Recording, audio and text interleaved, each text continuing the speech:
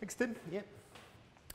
Okay, yeah, so I'm, going to give uh, what I hope is a nice, easy introduction to DAG-based consensus protocols. Um, so I think most of the talk won't be that technical, uh, but this being a tutorial, I'm going to go through like a couple of proofs. Okay, so there'll be there'll be some parts where some concentration is required. So please do like pepper me with questions. The more questions, the better. Uh, in fact, I think I'll, I'll, finish early if there aren't enough questions. Okay, so don't don't worry about slowing me down. Okay, that's fine. Okay, so we're going to talk about DAG-based consensus protocols. I guess the uh, the first natural question. Let me just minimise that so I don't see the slides is so what is a DAG-based consensus protocol, right? And why, why, might we care about these things? Uh, so I think it's safe to assume everyone knows what a blockchain is. Okay, so obviously in a standard blockchain, uh, the way it works is the blocks, uh, at least the blocks that count, right? The blocks that actually have their transactions executed is all in a sequence, right? With each point pointing to the last one. Okay, uh, and in a protocol, let me see, I have to get that to go forward. In a protocol like Bitcoin, uh, forks do occur, right? But ultimately, only one side of the fork ends up counting, right? In the sense that only one side of the fork actually has their transactions executed. And in fact, certainly in the context of Bitcoin, forks are seen as being a bad thing, right? Basically, forks uh, threaten security. And so we actually have to slow things down and slow things down quite a bit, right, in order to prevent them happening too much. Okay, so on a very sort of basic level, a very sort of simplistic thought is, okay, wouldn't it be great if somehow both sides of a fork could count without threatening security? Right, if we could do that, then we could produce blocks much more quickly. Right, this would be a good thing. Okay, so that's exactly what happens in a DAG-based protocol. Okay, so now blocks are allowed to have multiple parents and multiple children. Okay, and the resulting structure we call a DAG, or a directed acyclic graph. Okay, so a graph is just a bunch of nodes or blocks uh, with edges between them. Uh, it's directed because the, the edges have a direction to them. And it's acyclic because they're all pointing in the same direction, which means we don't have cycles if you follow edges in the correct direction. Okay, so that's the sort of, uh, the sort of simplistic idea behind it. On maybe a sort of slightly deeper level, the idea is that protocols like Bitcoin, in some sense, confuse two tasks. Okay, so blocks have a dual role. On the one hand, the blocks are used for relaying uh, sets of transactions. Right, on the other hand, they're also used in order to establish consensus on the ordering. Okay, and the idea is with a, with a DAG-based protocol, we don't want to let a block's role in establishing consensus get in the way of its role in relaying the transaction.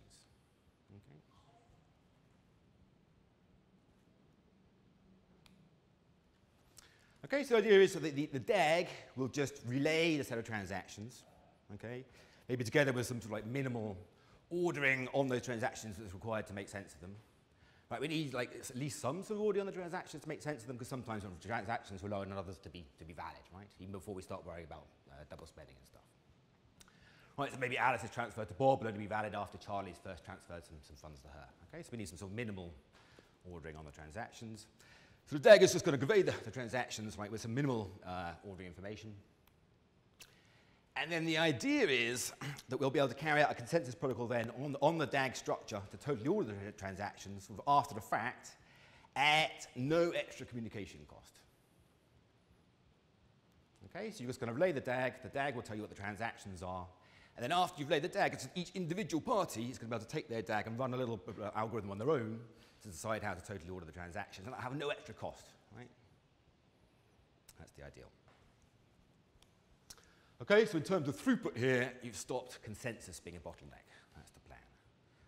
Okay, so different, different sort of consensus protocols you run on the DAG might have different latencies and stuff, but you're not getting in the way of the throughput.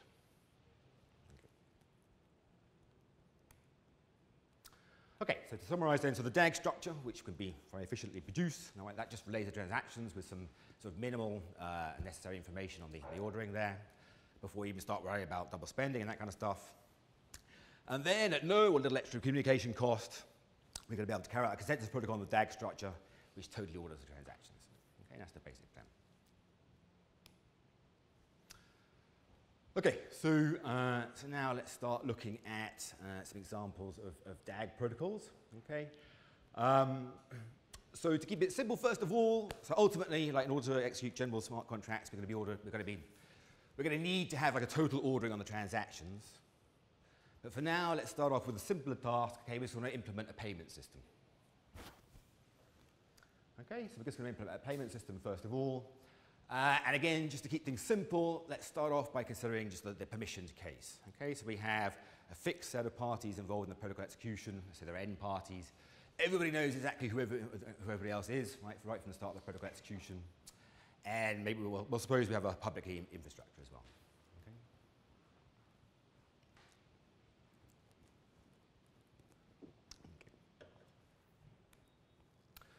Okay, and in fact, so the, the payment system I'm going I'm to present is the one, so uh, Ehud Shapiro, Udi came uh, a couple of weeks ago and gave what I thought was a fascinating talk. Uh, so in that talk, he, he actually presented the, the payment system I'm going to go over now. Uh, so if you completely understood every aspect of that, and I'm sorry for the repetition. Um, I guess personally, I, kind of, I didn't understand all of it until I went back and read a bit of the paper. So I'm hoping it's worth going over it again now. We have a, a bit more time today, so I can sort of uh, spend some more time going through the details. Okay, okay so I'm going to present uh, Udi's system, which I think is a very elegant system. Um, the whole thing I'm going to present works in the asynchronous setting. Okay, so to remind you what that is, that means that so uh, when you send messages, they are eventually delivered when they can take any finite amount of time. Yeah. And so you, you, can sort of think of the adversary here as controlling message delivery subject to that constraint, they eventually messages have to be delivered. Okay, everyone happy with that? Okay, and one other sort of slight simplification here. So generally when we're talking about blockchain protocols or state machine replication protocols, there's a separation between like the, the parties who are actually carrying out the consensus protocol and the clients who are producing the transactions. Okay? So here I don't want to worry about that sort of complication. Just to keep things simple, I'm going to imagine that it's actually that the parties who are carrying out the consensus protocol are the ones who are producing the transactions. Okay? So in particular, that means that the blocks that each party produces that can just be involved with like including their own transactions.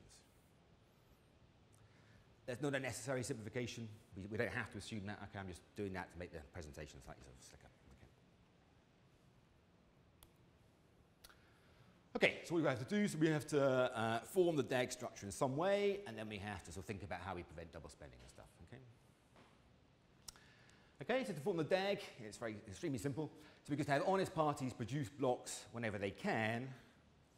Okay, and I say one at a time there. So here I'm allowing that sort of different parties could produce different blocks at exactly the same time. I just mean for an individual party, if they're honest, they'll produce their blocks one after another.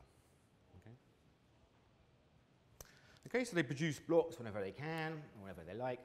Uh, and the basic rule is very simple. So when they produce a block, it should just point to all existing leaves, right? Like as seen by that party, obviously. Right? According to the DAG structure they've actually received. Okay, so that's the simple rule. And that's it. Okay, so that's, that's how we form the DAG, extremely simple. Uh, there's a couple of other details I should add in though. So we're assuming here that parties like, sign their, their blocks. Okay, so we can't forge blocks and pretend they're by other people. And we're also, we're not going to add a block into our DAG until we see the parent of that block. Okay, so you're to, you can imagine sort of down downwards closed DAG structures the whole time. Yeah.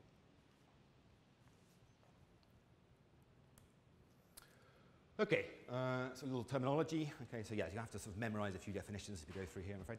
Uh, so, like, so like if someone does a block with four predecessors, like you save it on the side until you also have heard about all those yes, predecessors. Yes, exactly, yeah. Okay, so when a, when a block uh, points directly to another, okay, we're going to say acknowledges the block being pointed to. Okay, so here U1 acknowledges U2 and U3. Okay, with that. And observing is just a transitive closure of acknowledge. Okay, so U observes V, there's a directed path from U to V. Okay, so U, U1 here observes all the other blocks. Yeah, just yes, exactly. Yeah. So yeah, well, yeah, one column for each player. Just a nice way of picturing it, uh, and then we're imagining sort of time going up upwards here exactly. Okay, so U observes V just if, you know, if, it's, uh, if there's a path from U to V. Okay. Uh, and a basic observation here, so the instructions mean the blocks of an honest party will be in, in, a, in a sequence in the sense that each block produced by P will observe the previous blocks produced by P. Because each time you're just pointing to the leaves, right? So if you're honest, they'll be in a sequence. In that sense. We happy so far? Okay, good. Okay, so if all parties were honest, then this would be all that's required. Okay, but obviously we have to worry about uh, people who might be dishonest. Right? We- We're imagining sort of Byzantine failures. Some people are allowed to behave dishonestly here. Uh, so, okay, what's the basic problem? The problem is that uh, a dishonest party could try to cheat, right, or double spend by producing uh, what you might call equivocating blocks. Okay, so these are incomparable blocks where so each uh, neither observes the other. So, so let's, so if everyone was honest, you still have to talk about how to interpret the DAG, right? Well, okay. Uh, no, I mean, okay, you, you could just regard transactions as being valid, right? I mean, uh, if, if no one's cheating, then there, there'll be there's no problem. We're not trying to totally order everything here, right? It's just a payment system. Okay, so what we're worrying about is just that, okay, so we have to worry about people cheating. They might try and cheat by, by producing like equivocating blocks. So, sorry, so the only possible conflicts are blocks by the same party? Or- In this setting, okay, because I've said that uh, each party will just include their own transactions in their own block, the general setting is going to be essentially the same, okay, but uh, in this setting, okay, my blocks include my transactions. Okay. There's no notion of conflict between like transactions from different people, I guess. No. It's just- Right, yeah,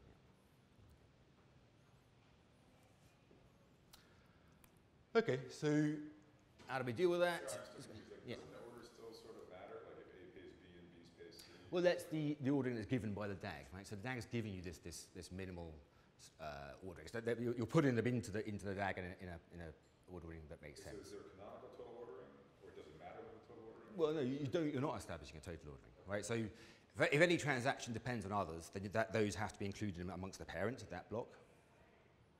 But you're pointing to all leaves, so that, that's fine.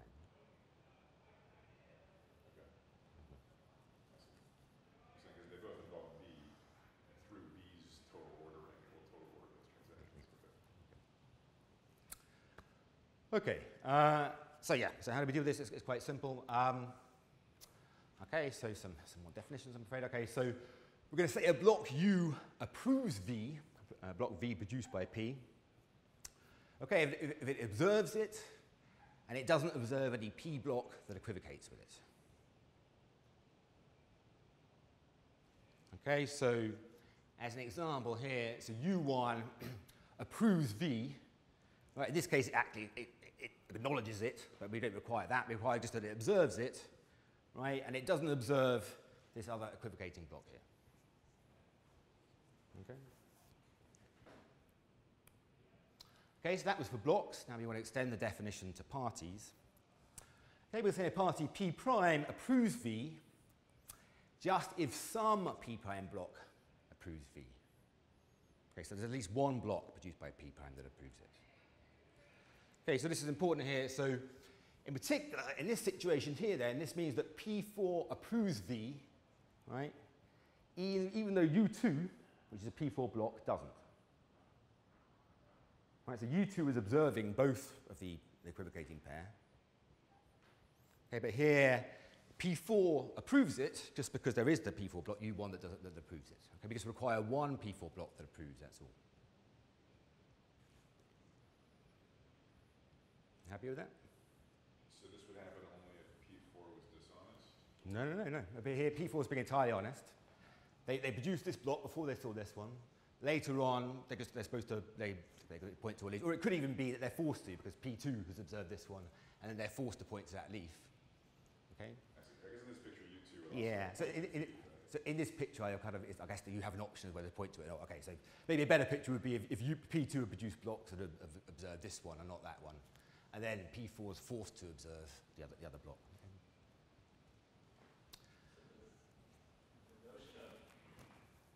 Observing and approving isn't uh, distinguished with how you improve the links, that's purely kind of implicit. Say again, sorry. so- so- Like the blocks don't say, I approve this block, I observe that block. They just have a list of blocks they're observing, Yeah, well, yeah, I guess, well, and the approval I get- is kind of inferred. yeah, I, get, I guess you could phrase it like that. Yeah, okay. So yeah, you just, you just point to some parents, that defines the, the set of blocks that you're observing, and then from that there's a definition of which ones you're approving.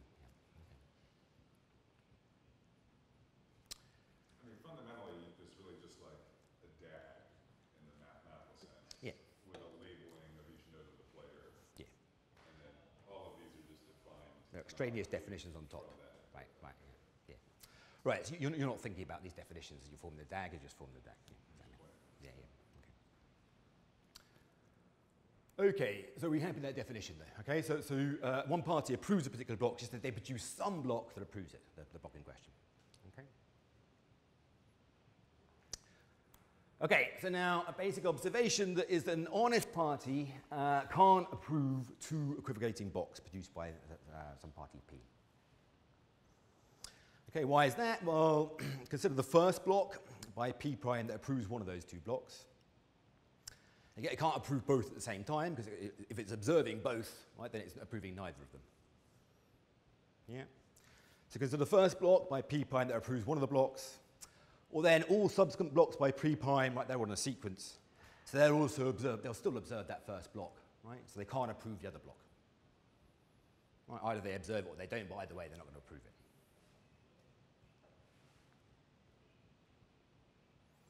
Okay, so honest parties can't approve uh, both sides of an equivocating pair, only one side.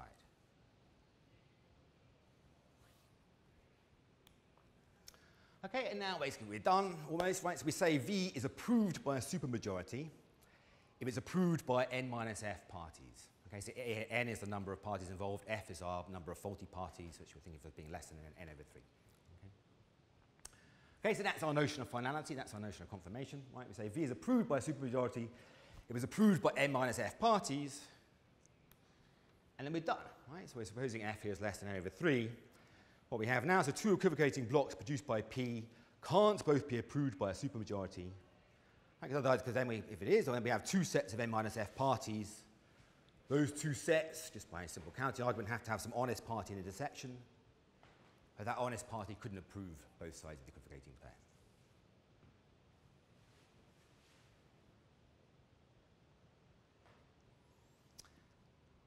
Okay, so to recap, so right, so to form the DAG, it's extremely simple because they have honest parties basically point to existing leaves when they produce a block. A block approves uh, uh, V produced by P if it, if it, basically if it observes it, and it doesn't approve any equivocating block. Okay. And then a party approves a block just if it produces some block that you know, approves the block in question. Okay, and then we, we easily get safety, right? So V is approved by, say V is approved by a supermajority. It was approved by N minus F parties. It's established as safety because two equivocating blocks produced by P can't both be approved by a supermajority, just by simple quorum intersection. Uh,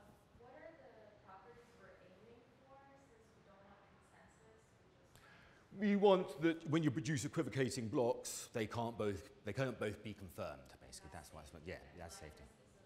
Well, so liveness is, is relevant, okay, so, but it's kind of trivial in this circumstance, okay? So uh, basically, what, what do you want? I mean, so here, as long as everybody's producing infinite many blocks, if I produce a block, uh, you know, it's part, not part of a equivocating pair, and I send it to the honest miners, then, okay, we're in the asynchronous setting, but it will eventually be delivered, right? So they're producing infinite many blocks, and those blocks are pointing to all the leaves. They'll eventually uh, uh, observe my block and so approve it because it's not part of an pair. Okay, so liveness is sort of fairly trivial here. Okay, so I don't know, I, I think that's kind of like an extremely simple, elegant protocol. Now I was kind of uh, impressed by how simply that could be done. Uh, yeah, and it's worth noting also here that you have, this is like a, a deterministic protocol, right, which works in the asynchronous setting. So that might sound sort of odd if you're familiar with the sort of results from consensus, because there's this uh, famous result of uh, Fischer, Lynch, and, and Paterson, right, which says basically you, can't do consensus in the asynchronous setting in a deterministic fashion. Right? There has to be some sort of randomness involved. So here we haven't got a contradiction because we're not solving Byzantine agreement. Okay, we're solving a slightly weaker problem. Okay, so I don't know. I, I think that's a very sort of simple, elegant protocol. At this point, hopefully you're convinced that DAGs are useful. That's, not, that's my first thing.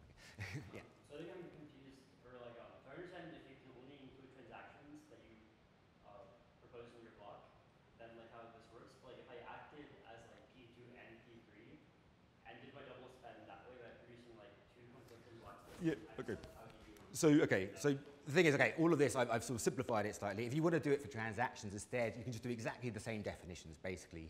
You say, like, one block approves a transaction if it observes it, but it doesn't, it does- it doesn't observe any conflicting transaction. And the same sort of proofs go through, okay? okay. It's actually the transaction level, not the block level. Yeah. If you want that. Yeah, yeah. Okay, uh, right, okay, so that's the, uh, yeah.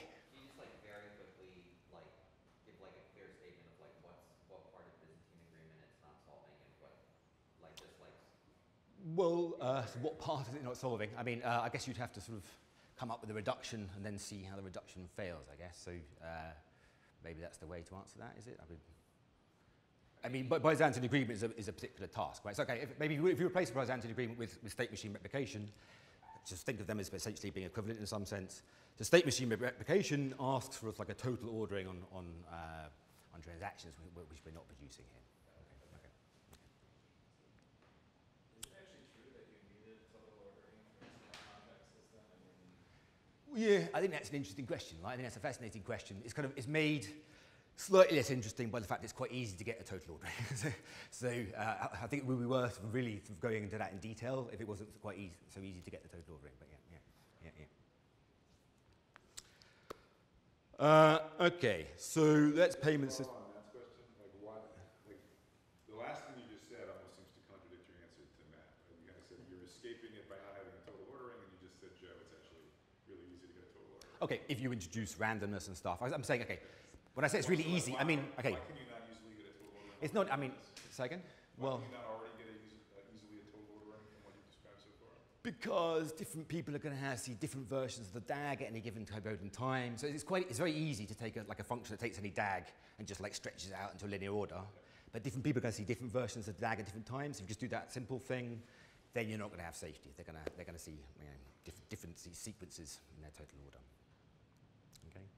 So uh, it's easy. Okay. It, it's not easy. I mean, I guess we're going to go through that now, right? So it, it's easy in the sense that there's no extra like a communication cost to it. Okay. Is the bottleneck termination then in a sense, is what you're saying, the part of BA thought? It's like, let's say the naive way of Mm-hmm. solve BA Yeah. satisfies safety and liveness. So I guess I may be repeating the question, but is the argument that like the footnote finite time T? Yeah, okay. I mean, certainly termination is part of it. I, I, I guess we'll see later on. Maybe sort of think in terms of Byzantine broadcast rather than uh, Byzantine agreement. Maybe it's sort of clearer. So there, definitely the termination is the, is the, the thing that's impossible in the asynchronous setting, right? So once you remove the termination or do a weaker version of termination, which we'll see later on, then, then it becomes possible in the asynchronous setting. So here's a follow-up question, so just, is the fact that you don't get a total ordering, is that like fundamentally because you're in the asynchronous model?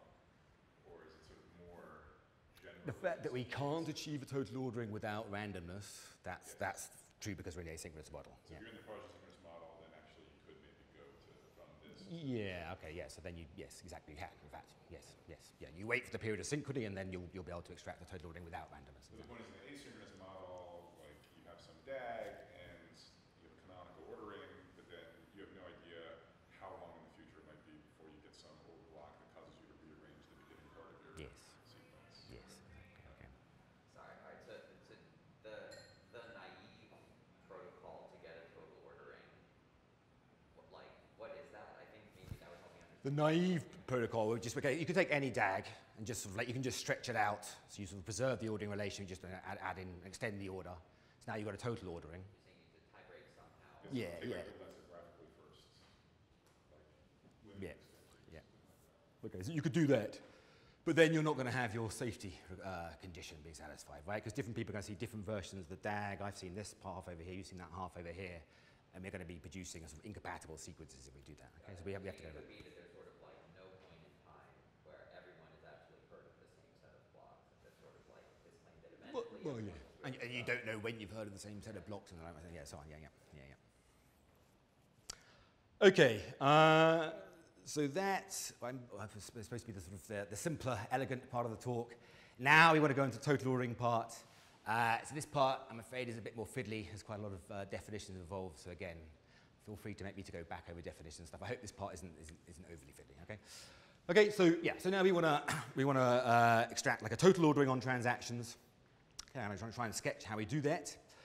Uh, and the basic point, as I said before, is, you know, or at least the, the idea is that we can, we can do that at no extra communication cost. We can, because, because relaying this DAG, okay, and at no extra communication cost, each individual party will just look at their DAG and they'll gradually form this total ordering in such a way that we have the safety condition. And everyone's always got of compatible versions of that total ordering. Okay, so uh, first of all, we're going to look how the cordial miners protocol does this, okay, and then we'll, we'll also see how DAG Rider works in detail. Basically, it's a fairly sort of similar proof, so it's, it's really just one bit. Okay, okay so we're going to proceed. So, uh, okay, so first of all, I am going to give the DAG a little bit more structure. Okay, so what we're going to do now is we're going to divide the DAG up into rounds. Okay, round one, round two, round three, and so on. Okay, and each honest party will produce one block in each round. Okay. Okay, and we're going to say that an honest party will produce a block in round R plus 1 as soon as it sees n minus f blocks in round R. Okay, we, we can do that in the asynchronous setting, right? Because you just inductively suppose that everybody's going to produce blocks in round R. Then I'll send those blocks out. Everyone will eventually see those blocks, right? Or the n minus f of them, because the faulty parties might not. Okay, and so eventually everyone will proceed to round R plus 1, and they'll all produce blocks in that, in that round and so on. Yeah? Okay, so that's the rule. So an honest party is going to produce a block in round R plus 1 as soon as it sees n minus f blocks in round R. Again, f is the number of faulty parties. And the rule is, well, basically the same rule as before. So the block produced must point to those n minus f blocks in, in, round R that you've just seen, uh, and also any other leaves from, from previous rounds. Okay, so basically that's the same. It's just all, all the leaves, basically, right? Okay. Just make it explicit that it points to those n minus f as well. Okay. So the only new data in the DAG is the round. and Yes. So yeah, we have rounds and the rules as to when you proceed uh, between, the them. is the same as before, except that it's an extra round field. Yes. Yeah, yeah, yeah. yeah okay. Okay, so we go. Uh, so if party two, let's say here we've got uh, so n is five and f is one. Okay, so we're waiting to see four blocks in, in a round before we proceed. So we, suppose- we suppose party two here is just see these four blocks. Okay, then they'll produce a, a new block that points to those, but also there's a leaf down there, so they'll point to that guy down there. Okay, so the rules for forming the DAG, clear? Great, okay. Okay, and then so how are we going to extract this total order? Uh, well, we don't have to use a notion of leader blocks, but it's a sort of fairly sort of uh, natural way to proceed. That's what we're going to do. Okay, so we're going to use a notion of leader blocks. Uh, and what we're going to do is we're going to divide all the, the rounds into waves. Okay, basically each wave will consist of five rounds. Okay, so wave one is one, rounds one, two, three, four, five. Wave two is six, seven, eight, nine, ten, and so on. With that? Okay, so we're dividing it into waves. Each wave consists of five rounds. And then, okay, for the first round of each wave, we're going to select a leader. Okay, so in round one, we'll select a leader. Round six, we'll select a leader. Round 11, we'll select a leader, and so on. Yeah? Okay? And then blocks produced by the leader, like in that round, they'll be called leader blocks. Okay, so if I'm the leader for round one, and I produce a block in round one, that, that, that'll be called a leader block.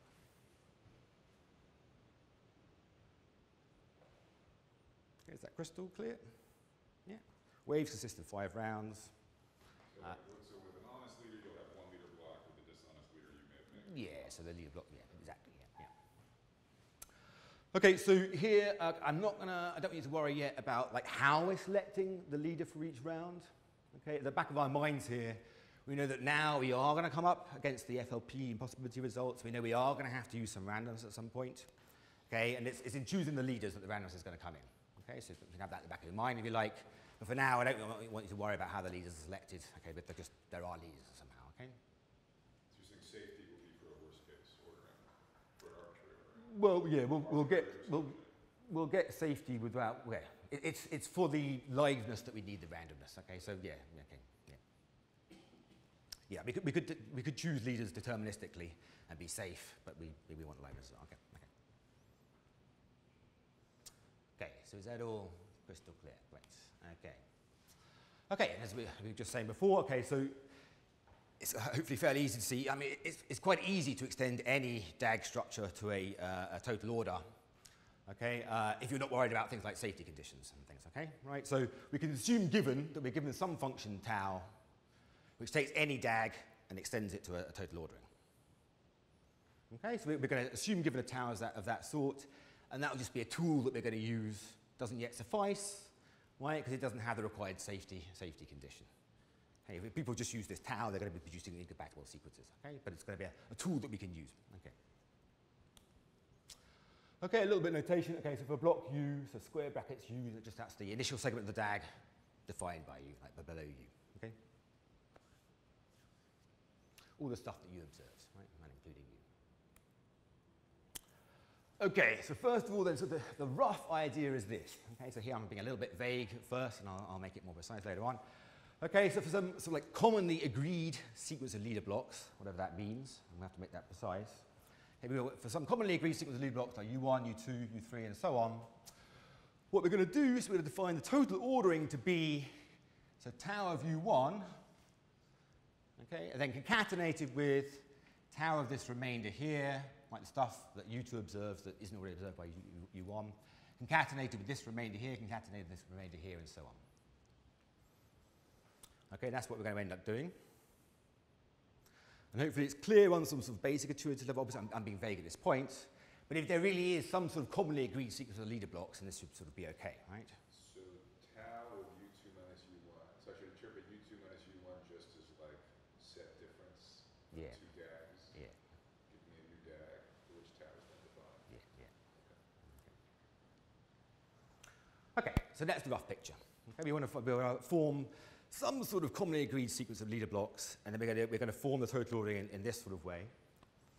Uh, it's obvious here, though, that we, we can't just like use any sequence of leader blocks, right? Because you know, people might sort of disagree on them. Uh, malicious actors might produce you know, equivocating pairs of leader blocks and so on. Okay, so the blocks we use will have to be confirmed or final in some sense. Okay, so we're going to need some sort of notion of finality here. This would all be easy with only honest leaders, right? Then there'd be no problem, right? It's Uh, yes, well, certainly if, yes, if all the leader blocks are honest, it'd be, I guess. Yes.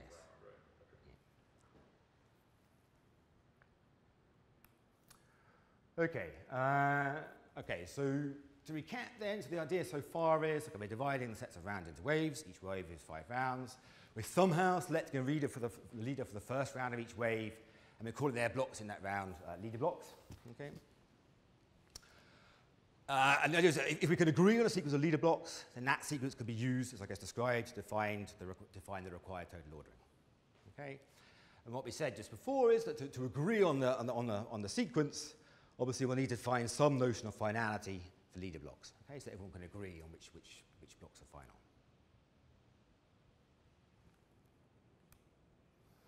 Okay, so now what we're going to do is define. If you can do this, is it clear you will have like the SMR, like you'll have consistency and that kind of stuff? Yes.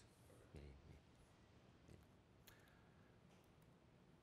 Okay. Just because like, it's, everybody eventually agrees on the initial segment, and then everybody eventually agrees. Yeah, you're, you're just totally ordering stuff, so you're, you're, you're, you're meeting the SMR requirements. Yeah, yeah, yeah. Okay, so what I said there is that we, we need to establish a notion of finality for, for, for leader blocks, so we want agree on the, the right sort of sequence to use, right?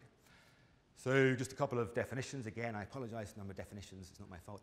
okay, so by a supermajority of blocks, right, we mean a, a set of blocks produced by a supermajority of miners or validators or whatever we call them. Okay, so take the set of blocks, take the set of miners who produced at least one of those. That's a supermajority. Okay. Okay, uh, and now we're going to say a block V is ratified by a block U if U observes a supermajority of blocks approving V. Okay, so maybe we have a little time to sort of absorb, absorb that. If, if, if you're familiar with Tendermint, then one way you could think of this, you can sort of think of this as being, think of you as seeing a stage. So in Tendermint, you have like two rounds of voting in each block. Right, you might get in the first round, you might get a stage one QC or quorum certificate. In stage two, you might get a stage two QC. Okay. Here you could think of you as like seeing a stage one QC for V, right? Because each of these blocks that is, is approving V, you can think of that as being a vote for V. Okay, so U is seeing like a stage one QC. So you can think of, when, when you see a stage one QC, you, you, you- vote for it. So you can think of you as representing like a stage two vote in the, in Tendermint setting. Okay? If, if you're familiar with Tendermint, that's helpful. If you're not, it's unhelpful. In that case, forget what I just said. Just take, the, take it at face value. Okay? okay, and then we're going to say a leader block of wave W is final if it's ratified by a supermajority of blocks in the final round of the wave. Okay, and again, for those who know Tendermint, this is like V receiving a stage 2 QC, right? Each of those, each of those blocks that ratifies it, that's like a stage 2 vote. Now we've got a, a supermajority of those, so we've got our stage 2 QC.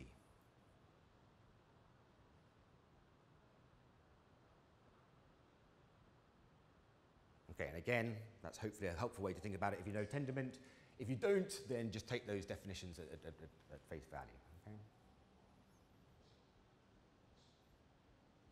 okay, so I guess, yeah, it's helpful if you can try and remember those definitions for what's, what's going to follow. Okay? Everybody happy?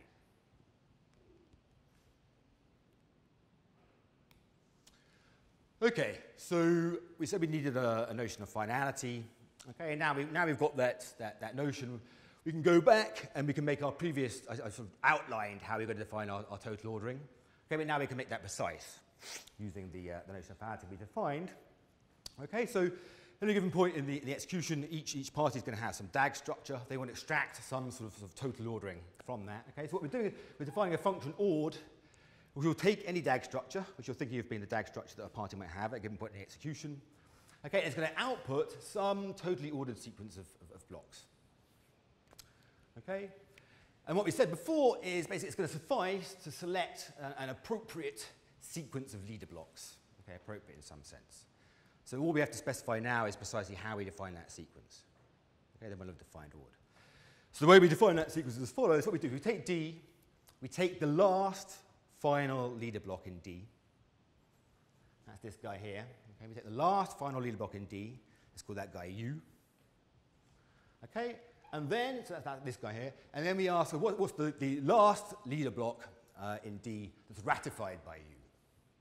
Not necessarily final, but what's the last leader block that's ratified by U? That's this guy here. Okay, so that's U prime. And then we ask, what's the last leader block ratified by U prime? That's this guy here. Call that U double prime. Okay, we keep on iterating. And it's how we define our sequence. Okay, so again, so the way you define the sequence, we just take the last final leader block. Okay, that's U.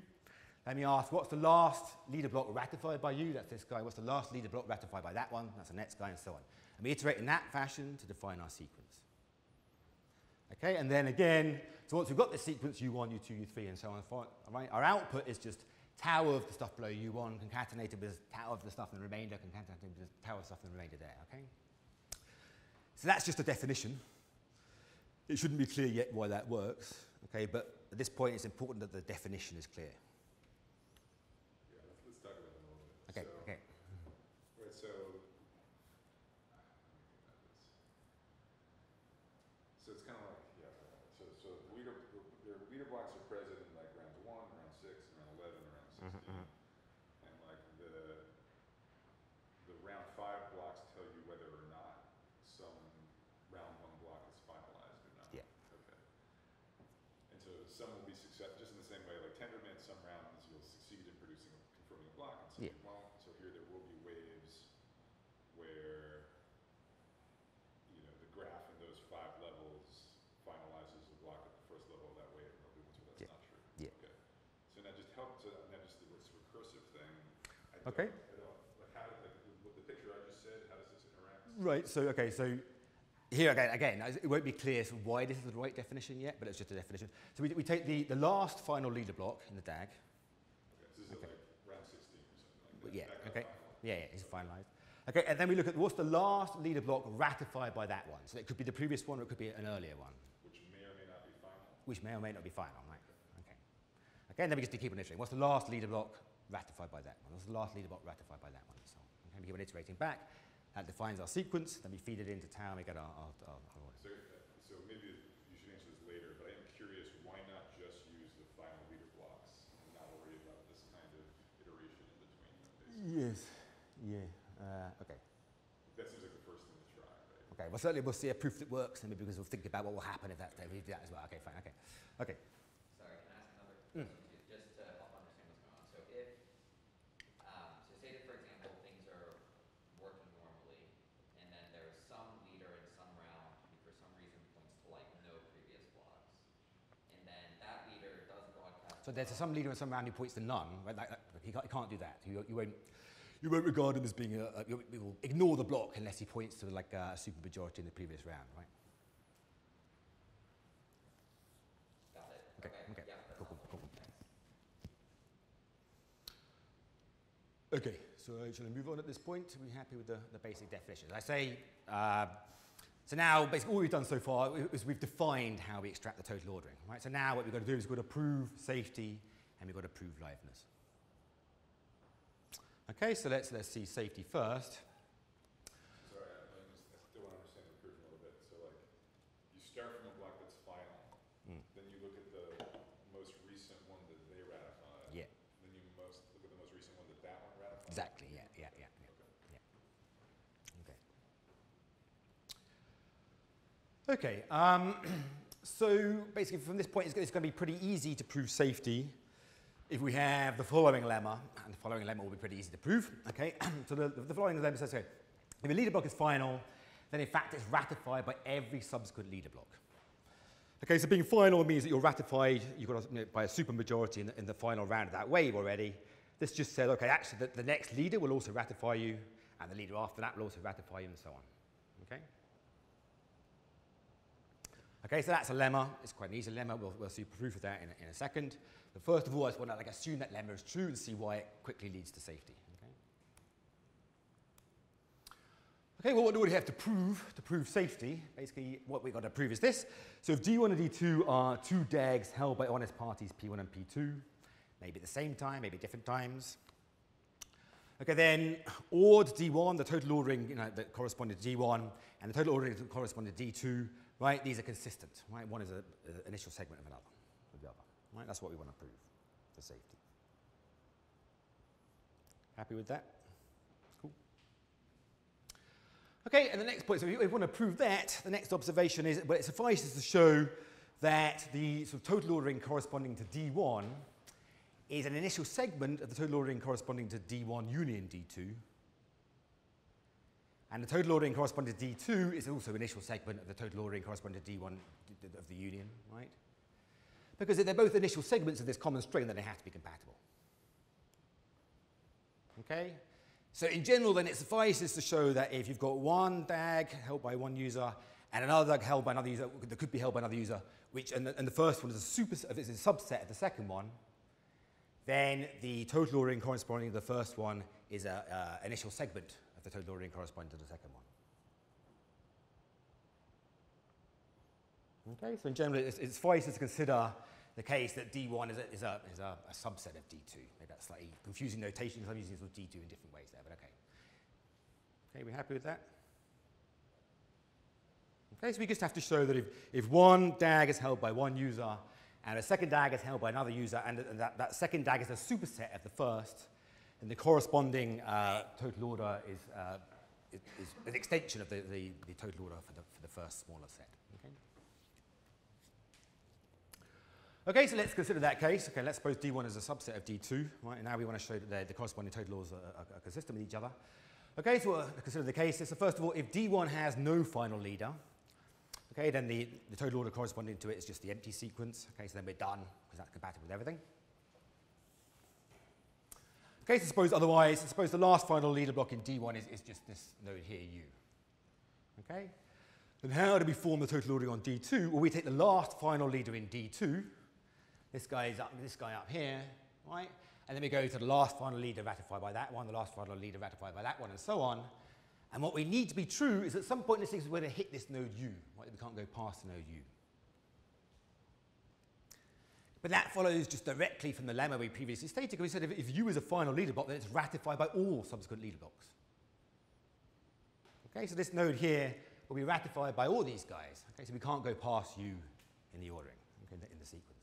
Because that means the total ordering corresponding to D2 will just be the total ordering corresponding to D1 concatenated with the tau of these guys, concatenated with tau of these guys, concatenated with tau of those guys, and so on. Okay? So it's an extension of the total ordering uh, corresponding to D1. Of course, it could be the same thing, right? But it's, okay, certainly compatible. Happy with that? Shall I stay on that for a minute? Right, so going back to Tim's question, if your like waves are just one round, then this still goes through, right? Uh, well, you, in the liveness proof, we're going to need waves to be uh, five rounds long. Yeah, so far we're not using the other rounds in the wave at all, really, right? But you, we're going to need five rounds in the in the wave in order to make sure that you, you the, liveness happens. Okay.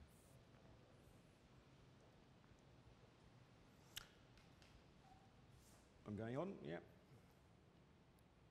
Okay. Okay, so that all works. Um, but we assume this basic lemma, right? So if a leader block is final, then it's ratified by every subsequent leader block. Okay, so let's just quickly prove that. This is kind of easy. We can do this just by a, a proof by picture. Okay, there are so two cases to consider here. This is the first case and the second. So the first case is, so this is a, a final uh, leader block here. Okay, and the first case is we're considering a leader for the next round. Sorry, the, the first round of the next wave, right? Okay. So this is the final leader block here. So what does this picture mean? So here we have, this is the final round of the, of the wave. Right, all these guys are ratifying this guy here because each one of these can observe some supermajority blocks approving it. Okay, these supermajorities aren't all necessarily the same, it just kind of looks like they are in the picture, but it's hard to draw a picture properly, right? Okay, so, so here, this is the final round of the wave. Each of these guys ratifies this, right? So they're each observing a supermajority of blocks that uh, approves that. Okay. So the first case is that the, the next leader we're considering is the one that, that for the, the first round of the next wave. Okay, in that case, this guy here has to acknowledge a supermajority. Well, that's the rules of forming the DAG. Okay. That supermajority in this one have to have some honest node in the intersection. Okay, but then this guy is observing a, a supermajority of blocks approving him, so, so is he. Okay, so in that case, he also ratifies the block.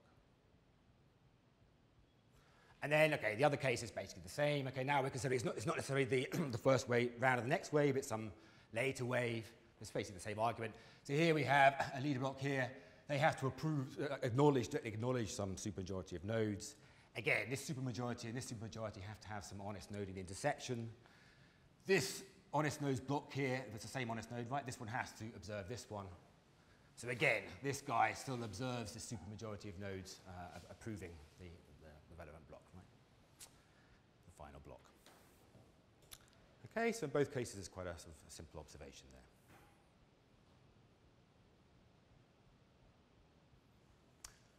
Okay, so we have uh, security.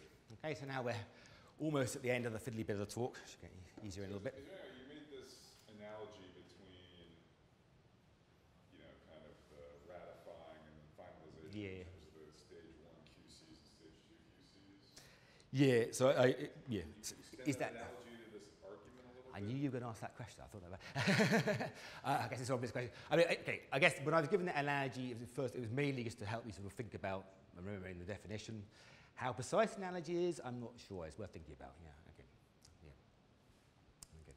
So like in Tendermint, you would say there never exist two stage two QCs for Yeah. conflicting blocks. I mean, if, Trying yeah. Like there should be some It's, something slightly different going on because in Tendermint you're using locks and that kind of stuff, and I don't think quite the same stuff is happening here. So I, I yeah, I, I've thought about it a bit, but maybe it's worth thinking about more.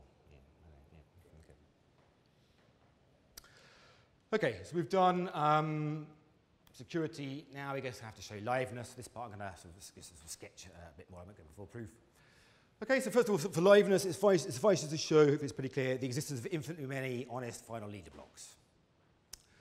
Okay, because if I produce a block and I send it out, then eventually it will be delivered, right, to the, all the honest parties, right? So they will, they will be producing blocks that observe it. Okay, so it's, it's going to be incorporated into our total order as long as they're producing infinite many final leader blocks. Okay, so that's our task. Okay, now that we come up against this, this problem that we're going to need randomness in the asynchronous setting. Okay, so what happens? So if, if we don't proceed in random fashion, we don't use any randomness, let's suppose we just announce ahead of time, so P3 is going to be the leader at the beginning of the wave. Well, then what the adversary can do is they, they can just delay messages from P3. Right, and as the honest parties, we don't know. So maybe P3 is just a dishonest party. Maybe they're never going to send any messages. Right, we don't know whether the message has been delayed and honest or maybe they're dishonest. So we can't wait forever. Eventually we have to go on with something else and we have to add some other stuff into our, into our total ordering and then, okay, so, so it won't work. Okay? Okay, so this won't work. So what we can do instead, though, is let's suppose we don't elect a leader initially, okay? What we do is just like, allow people to keep informing the DAG in a standard fashion. And if we do that, what we'll find is that we end up with a supermajority of blocks from the first round of the wave down here, uh, which are ratified by all blocks in the final round of the wave. Okay, that will just sort of happen by some sort of combinatorial argument that isn't that fiddly, but which I'm sweeping under the rug slightly. Okay? Okay? So then what we can do is we can toss our, our, our global coin okay, in order to retrospectively select which guy's a leader for this wave. Okay, and we have a, like a, a more than two-thirds chance of, of, of selecting one that is, uh, has actually you know, produced a final, final block for that wave. It's funny, every honest node behaves as if, let's see, or you're saying like the behavior in waves by honest nodes was kind of independent of the identity of the leader of that. Yeah, you didn't even know who the leader was, right? So you, you, you, just, you, just, you, you just proceeded. And the way the DAG structure formed, you just get a lot of blocks down here being ratified by a lot of blocks up here. And so then you just randomly choose a leader and it has a good chance of working out and producing a final. Yeah, uh, that leader. one, even calling it a leader is a little bit misleading terminology. Right, okay. That's sort of interesting. Okay, So- yeah. Mhm. Yes. I don't know.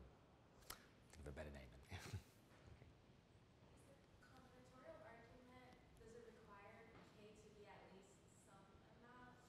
Yeah, so here we've got K is 5. I mean, it's a little bit sort of fiddly. So here K is 5 for Cordial Miners, For DAG Rider, which we'll see in a bit, K is 4.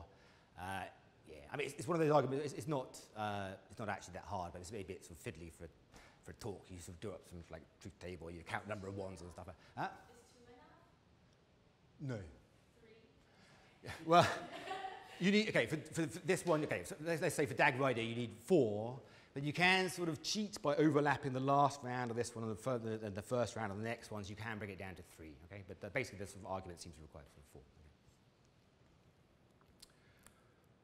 Okay, so that was cordial miners. Yeah, so at this point, basically, most of the, the hard work is done. Hopefully, it'll be sort of uh, easier from this point, okay?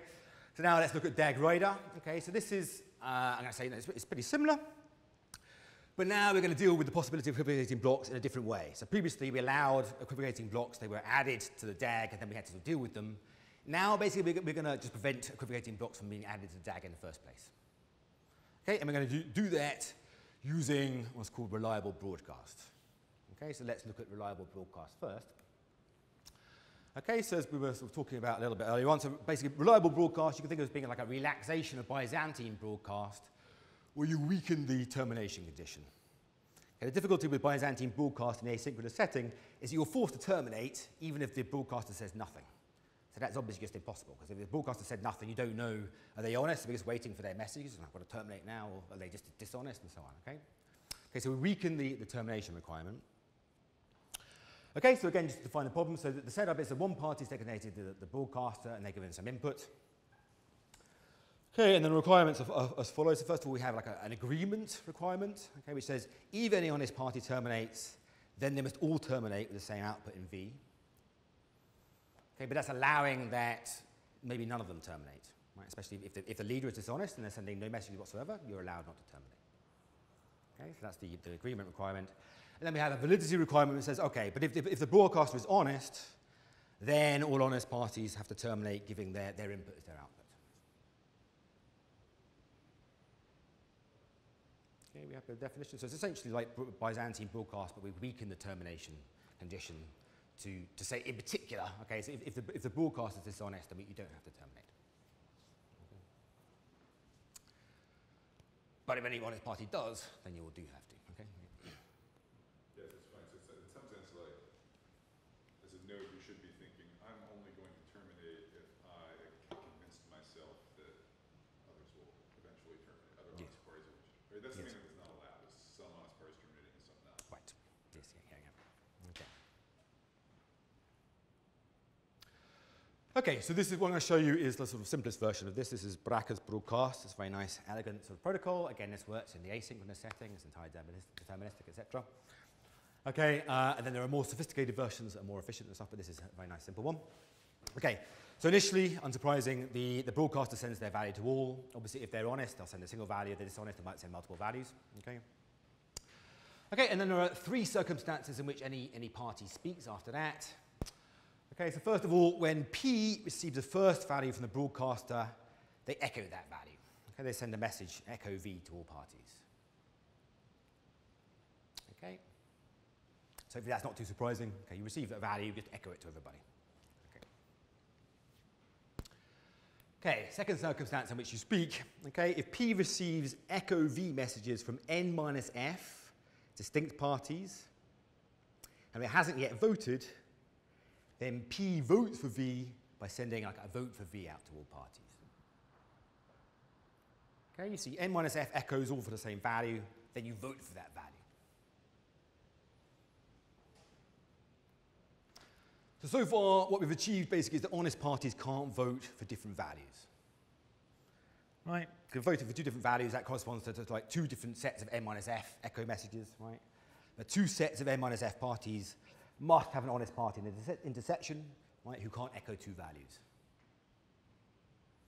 Okay, so so far what we've achieved is, yeah, honest parties can't vote for two distinct values. And from there, okay, it's going to be easy to ensure different honest parties can't decide different values. Okay, so we're in a strong position so far for that. Okay, and the last condition on which someone speaks is so if P receives vote V messages from F plus one distinct parties, right, and it hasn't yet voted, okay, then P also votes a V by sending a vote V message to all parties. Okay, and the point of that is to ensure that so if any honest party decides V, okay, basically you're going to decide V, I haven't written it down yet, but in a bit. You'll decide V when you see N minus F votes for V. Right? So if any honest party decides V, that's because they've seen n minus f votes for v. That means all parties have seen n minus 2f votes for v, which means they've seen f plus 1 votes for v, which means that all honest parties will vote, which means that all honest parties will terminate. Okay, well, okay. Okay, we'll go through that again in a little bit. Okay, okay and then the, determination uh, uh, is specified just as I previously said. So an honest party decides v if it receives vote v messages from n minus f distinct parties. Okay, so let's prove that works. Okay, so I've just made it smaller and put it inside a box there. Uh, okay, so, so first of all, right, we're going to show, just saying the same thing we observed before, so honest parties can't vote for different values. Suppose uh, they do, right, so suppose P is the first honest party for vote for V, and that P prime is the first honest party to vote for some different value, V prime not equal to V. Okay, in that case, each of these must receive echo V messages from n minus f distinct parties, right? If you're the first one to vote for a value, it has to be for this first reason here. It can't be for this reason, because this requires there to be f plus 1 votes already. At least one of them has to be honest, right? So if you're, if you're the first person to vote, it has to be uh, for this reason here, right? Okay? So then P receives echo V messages from M minus f distinct parties. P prime receives echo V, v prime messages from M minus f distinct parties. But then those two sets of M minus f parties, they must have an honest party in the intersection, right? And that's a contradiction, because they couldn't vote for, they couldn't echo both values. So that's just what we said before. So honest parties can't vote for different values. Uh, and then what do we have to show? Well, we have to show that if the broadcast is honest, then nobody's going to sort of terminate with their, their input values, their output. Okay, but here that's easy, right? Because if the broadcast is honest, then they're going to send the same value to everybody, everyone's going to echo that value, and then everyone's going to vote for that value, and they'll all decide on that value, right? Because Right? Hopefully that, that's, that's clear from the protocol. Right? They'll send it out. Everybody will echo that. So they'll all see A minus F uh, echoes for that value. So they'll all then vote for it. We'll all see MISF votes. Right? You could vote this way or that way, depending on what you see first. But either way, everyone will vote for it. All honest parties will vote for it. Right? Okay, so that case is, is easy enough. And the last thing we have to show is the, the agreement property. Okay, so now suppose an honest party decides V, well then, that means they receive n minus f votes for v, right? So that means all parties receive at least n minus 2f votes for v. Yeah. Okay, but we're assuming f is less than n over 3, so that means that we, they all receive f plus 1 distinct uh, uh, votes, right? Okay, so that means all honest parties are going to vote for v, either through this first mechanism or through the second mechanism, right? And also because they can't already voted for other values. Right? So all honest parties will vote for V, so they'll all decide for V.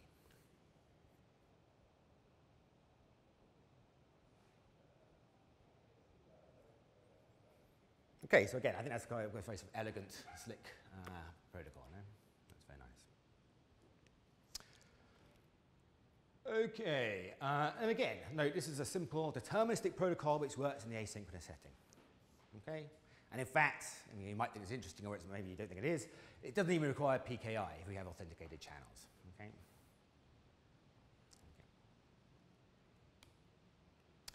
Okay. So now back to DAG Rider. Uh, so basically, the protocol works very similarly to, to Cordial Miners, the protocol we were, we were describing before.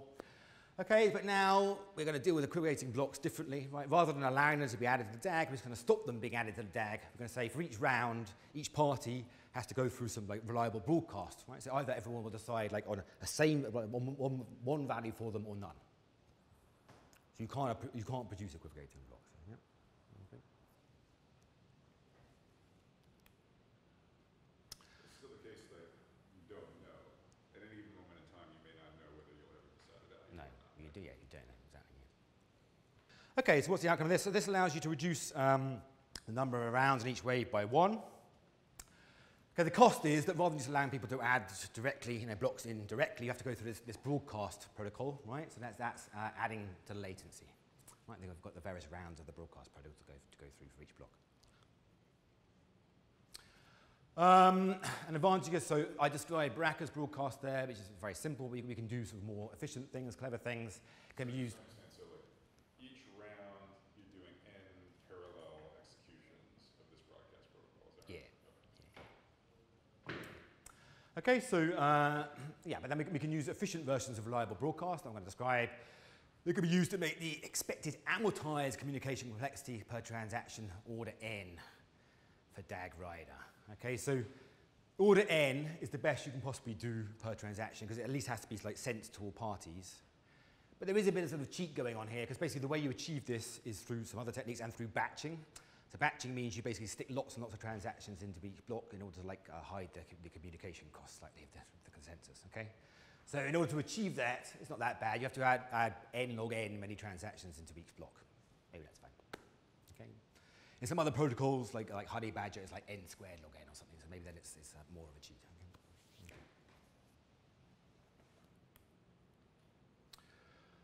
Okay. Okay, so now uh, let's start thinking about uh, so our DAG protocols actually good, how do they compare with your you know, monolithic protocols where everything's in a, in a row? Uh, okay, so first of all, I'm going to look at communication complexity. I'm going to preface this by saying I don't think communication complexity is a very good way of comparing how protocols are efficient. Basically, I mean, I, like it's, it's the standard way it's done in the distributed computing literature, but I don't think it's a particularly uh, good measure. Okay, but anyway, because it's a standard way, we'll go through that first. Okay. Um, Okay, so so far we've been looking at the asynchronous setting. So let's stay there for a little bit. I was going to say later on though, I mean, you, so we focused on the asynchronous setting. You can, of course, you can define DAG protocols which are specialized to work in the partially synchronous or the synchronous setting or, or whatever. Yeah. Okay. Okay, so let's start comparing with uh, some non-DAG protocols uh, in the asynchronous setting first of all. Um, and in particular, let's think about, so VABA is basically a modification of HotStuff which works in the asynchronous setting. Okay, HotStuff is, is designed to work in the partially synchronous setting, uh, right, where message delivery has like uh, good periods and bad periods, right? You're only required to make progress when you have good communication. Uh, okay, but if we, we, can sort of modify HotStuff quite easily to work in the asynchronous setting. Um, so how do we do that? Well, basically, we have, we have the sort of same threat to liveness as we had before, right? So if we just select a leader in advance, I suppose we, we, we produce of k blocks, we now want to produce the k plus first block. If we just select this guy's going to be leader in advance, well then the we can just delay their messages. Again, it's the same thing, right? So as the honest guys, we don't know is the leader honest and their message has been delayed, or are they dishonest, so they're never going to produce anything. So eventually we'll have to move on. Okay, so that doesn't work. So what we do is something sort of similar. So what we do is we run n instances of HotStuffs of the three-phase protocol for the next block simultaneously. Yeah. N simultaneously, right? Each party like acting as a leader once, right, for one of those, yeah? And then what we can do is we wait for n minus f of those to complete. Right, that eventually has to happen. Okay? And then, same sort of trick as before, we randomly select a leader, right? And if they produce a confirmed block, then we use that one. And we just discard the rest. It seems extremely wasteful, right?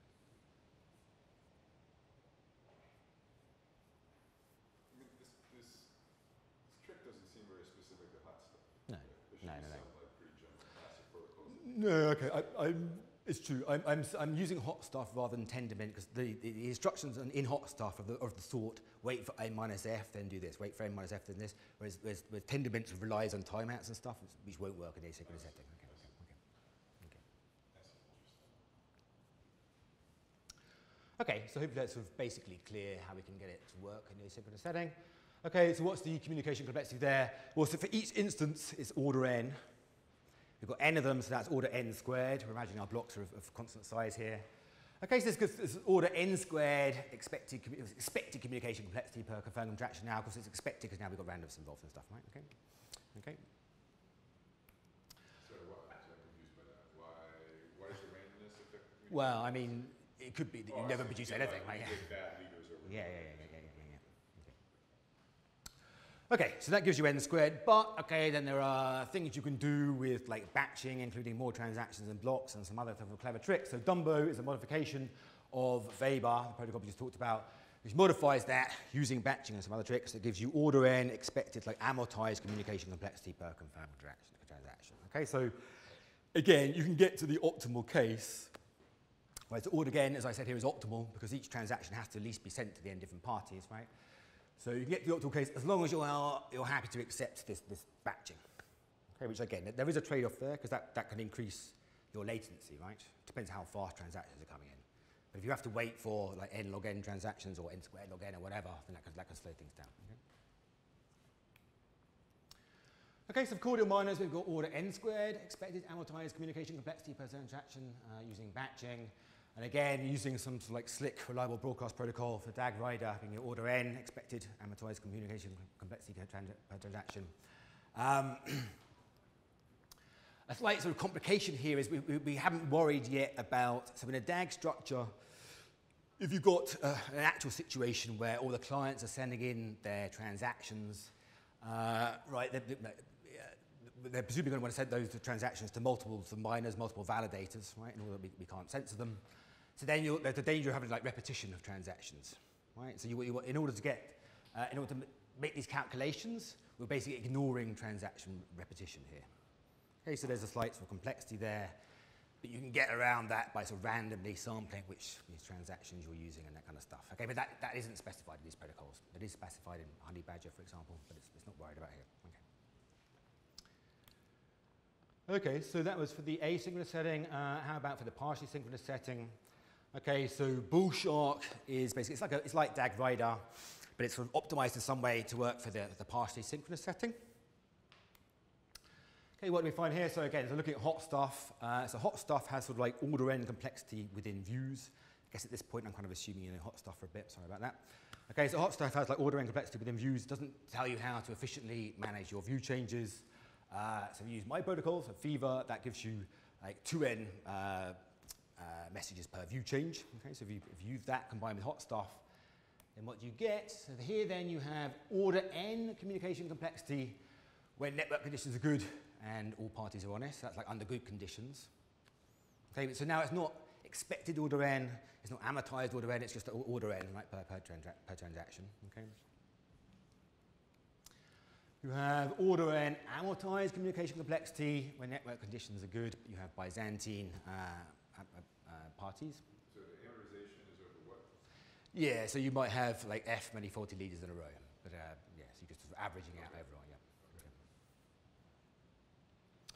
Okay. okay, and you get order n squared communication cost uh, in the worst case, right, to produce a confirmed block when network conditions are good and with Byzantine adversaries. So order n squared to produce a confirmed block in the worst case. If you go to Bullshark, okay, we're, missing out this case. We're going straight to the amortized version. So we get the amortized version again. Okay, order n amortized cost. Um, but then when you look at like the, the worst case cost to produce a confirmed block, now it, this looks massive, right? So the worst case, we've got to order n to the 4 log n communication cost to produce a confirmed block in the worst case, where when network conditions are good, but with Byzantine adversaries. But the point here is, in that worst case, when you, when you do finally confirm a block, you're then confirming loads of blocks, right? Everything below that, right?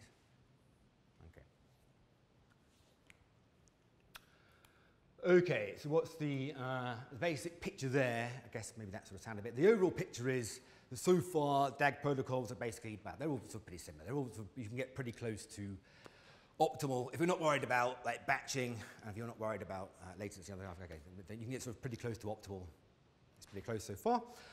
Okay, but obviously communication complexity isn't really what we care about, right? What we really care about is, Can I ask a question? Hmm. So I'm trying to, it's like Bullshark, you said that was a optimized iteration of DAG Rider for the partially synchronous setting. right? Yeah. So you described it, so, so why is it better, yeah? huh? You're asking why is it better than the, the other guys, I'm yeah? not trying to, understand, like, so was the second bullet under Bullshark, like, does that, does that compare to, like, how does that compare to the other DAG-based protocols you've been talking about? So in the other ones, we, we were in the asynchronous setting, so there's no worst case, right? So this, this line here disappears. So here we really talk about this, is deterministic now, so we have a worst case. And the, the optimization of Bullshark isn't really to change these figures, well, except that you don't, this figure exists. So like, the worst case would have been. Yes. The, uh, Yeah, other ones, the yeah, yeah, yeah, yeah. But like, what if, like, you could try to evaluate those protocols in the partially synchronous model, right? And ask about Yes, right. So then it'll be, uh, you'll get the same figure then if you make it deterministic. Okay, so the, basically the difference with Bullshark is working very similarly to DAG, but you, you manage to reduce the latency. So now we don't need the four, four rounds, now we only need two. So the argument for liveness changes. Yeah, Okay. so, so I'm just trying to understand where the end of the fourth comes from. So it sounds to me like you're saying all of the DAG-based stuff, you have this issue that after a long string of Byzantine leaders, you'll have to have like, you'll have to like catch up, Yeah. like a bunch of confirmations. And, Yeah, yeah, yeah, yeah. Yeah, so that figure will be the same. Yeah, okay. so I guess there are quite a lot of figures here, but the basic picture so far is, okay, maybe it's sort of fairly similar for the, for the, for the DAG and the non-DAG structures, okay? But what we really care about is latency and throughput, right? And I'm saying, I, know, basically, there aren't really the, the prevailing methods in distributed computing. Just consider your the main thing is to look at your communication complexity. Okay, so it's, it's difficult to analyze these things in a rigorous way. So basically, what we have to do is just like uh, you know run experiments. Okay, and then when you're running your experiments, of course, you have to make sure we really are comparing apples to apples. Right, we mean the same thing by transaction. We have the same internet connection speeds. We have the same processors and so on. Right. Um, Okay, so uh, as an example, there's the team behind Bullshark compared the performance of Bullshark. So Tusk is basically, it's like DAG Rider, just with some optimizations involved, okay? So just think of that as like a slightly optimized version of DAG Rider. Here, but this is- sorry, so Bullshark already says optimized version of DAG-Rider. No, no, no, okay, so DAG, DAG fast. Rider works in the asynchronous setting, As does Tusk. as does Tusk, yeah, yeah, okay. Okay, uh, and, we, and HotStuff as well, okay? And what they found, so the following is under good network conditions. We're not, here everybody's behaving nicely, right? Uh, our network connection is, is, is always good and so on, running as fast as possible. Okay, so for HotStuff, you get 50,000 transactions a second for 20 parties, uh, 30,000 transactions for 50 parties, and with a latency of around two seconds. This is all honest notes, or? This is all everybody just being good, yeah? All, everybody's being honest. Okay, we're not exploring how bad it goes when people are, are, are naughty. For Tusk, we get up to 160,000 transactions a second for 20 or 50 parties. I'm not sure why it's exactly the same. Maybe uh, somehow the network wasn't saturated for, for yeah, when it's 20. Uh, but now, okay, the, the latency is slightly, slightly larger. Okay, and for Bullshark, we're getting 130,000 transactions a second for 50 parties with latency around two seconds. Okay, I don't know why they didn't get the figure for 20 parties there, I'm not sure. Okay, that's, that's the figures they give. Okay, so I, I don't know to what extent you can take those as being like gospel. uh, maybe you know, one of them is coded in better than the other one, I don't know. Okay, but anyway, so it seems to be the case that the, the, the DAG protocols are being pretty efficient now. And, and were they stress tested under non-ideal conditions at all? Or? Uh, I don't think those were included in the party. I don't want to promise. Uh, sorry, they were included in the paper. Uh, I, can, I can have a look at later on if they are. I'll, I'll, I'll link it. Yeah, okay. I feel like these numbers are close enough to each other. Other considerations might be what you'd use to Yeah, decide yeah, yeah, with, right? yeah. No, it's just like I guess from this, my basic takeaway is that they look like they're doing pretty well, but there's nothing definite there, right? Yeah, yeah. Are these pretty standardized in terms of what a transaction is and are they all? Yeah, so here a transaction is just uh, 512 bytes. We don't really care how long it takes to execute it because all we're doing is we're, we're ordering them. That means we're like shifting the job of actually executing it to somebody else. Yeah. So maybe they should really just quote like a data rate. Yeah, yeah, yeah. I, yeah, I think they're probably doing this because people are just used to talking in terms of uh, you know transaction rate, transactions per second. But yeah, exactly. Yeah. Okay, so just to finish off with then, okay, so we've mentioned Cordial Miners, DAG Rider, Bullshark, Tusk. Basically, these are the sort of uh, state-of-the-art protocols. Uh, just to go through some, some maybe some older protocols. So Hedera Hashgraph, right, this is a permission DAG-based protocol.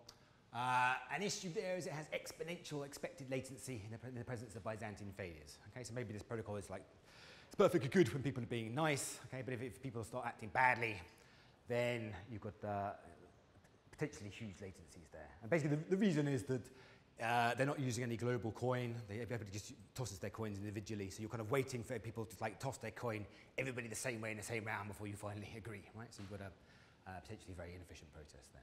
Okay. Is it so, like, is your sense in practice, there's a distinction between, like, is it useful to only have local coins, or? Uh, well, I don't if you're happy with setting up a global coin, etc., maybe there are, I mean, there, there are issues in doing that. I don't know, but uh, I guess. So again, so in particular, Aleph is a version which basically takes a Hedera Hashgraph and essentially implements it with, a- with a global coin. Okay, so then you cut it down to uh, a constant expected latency. Okay, you also achieved your, your sort of your best possible amortized and expected amortized communication complexity if you're happy to accept batching, which you may not, may not be. Okay, then Avalanche also uses a DAG structure for the transactions. When you add a transaction in, right, it has to point to sort of two previous transactions. Okay, and then, sorry, I don't know if you're aware of Avalanche, so what you do then, you decide on conflicting transactions in DAG by repeatedly sampling the opinions of other parties, right? And the, the DAG structure plays a role in that because when you sort of vote for a particular transaction there, you also vote for all the other sort of predecessors in the DAG. Okay, so Avalanche requires Sigfree for liveness, uh, and the communication complexity there is order kn, right, where k is the required number of samples. So that depends on your security parameter and d- depends on n. Okay. And again, so Avalanche provides a payment system but no total ordering. And then we have some sort of proof of work protocols, right? So Spectre is a proof of work DAG-based protocol. Again, that just provides a payment system, doesn't provide a total ordering. Uh, Tangle is pretty similar to Spectre, but in Spectre you've got blocks of transactions. In, in Tangle you're adding them in, in individually. Uh, but okay, so Spectre doesn't provide you with total ordering. So Phantom and GHOSTDAG, that's an exten- extension of, of Spectre, which does give a total ordering uh, on top of the DAG. So would you say that these are obsolete now, or? I don't want to annoy anybody. So um, no, I don't know. I mean, uh, no, I, I don't want to go that far. I know. Uh,